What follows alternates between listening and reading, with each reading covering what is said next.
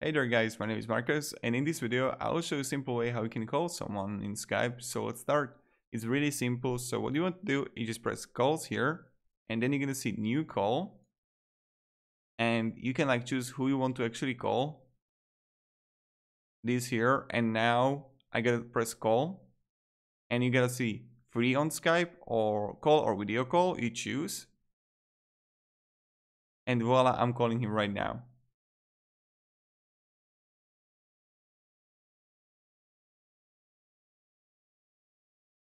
And I've been signed out for some reason so I will just sign in back.